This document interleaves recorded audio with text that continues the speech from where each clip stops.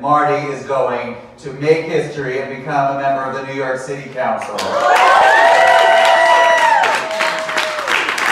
And I'm uh, proud to support Marti. I'm only sad that Danny and I won't actually be able to serve with you in the City Council, but we will be able to watch what you do, and I know you're going to do great things. I support Marti because not only is this a historic and groundbreaking run for City Council, but Marti actually wants to do this job.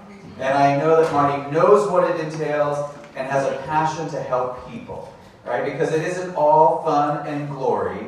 It's a lot of hard work, but at the end of the day, it's about helping people, serving people, working hard for the community, and I know Marti has what it takes. You're a fighter. I also want to say that your run is important because for years all of us have been told that in order to have power, in order to have a seat at the table, we have to take a really important piece of who we are and hide it.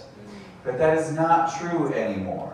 And your run, right, is all about letting every single child in this district in Manhattan and the city of New York know that you have a rightful place. You can and should be at that table, at the head of that table in a position of power, and you bring all of you to this race. You don't hide any part of who you are because you, by being you in this race, are sending a message to every single person in this district and beyond, right? That it is all about being who we are and bringing every single part of our authentic selves to this race. So are you all ready to elect Marti to the